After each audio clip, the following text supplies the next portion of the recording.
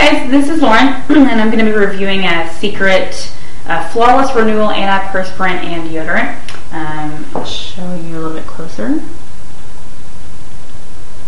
And you'll notice um, with this specific antiperspirant and deodorant um, that it has a stronger formula um, to protect uh, for antiperspirant. Um, one of the things that I really like about this one, I usually buy a Suave.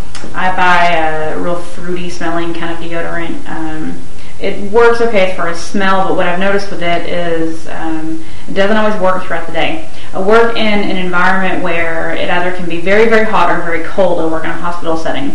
So while I don't necessarily need a stronger clinical strength antiperspirant, I do need something that is kind of a mid-grade, kind of a step above just basic antiperspirant. And this kind of seems to be the trick. Um, I can admit that I wouldn't have even known to look for this. I didn't know that there was really a mid-grade antiperspirant.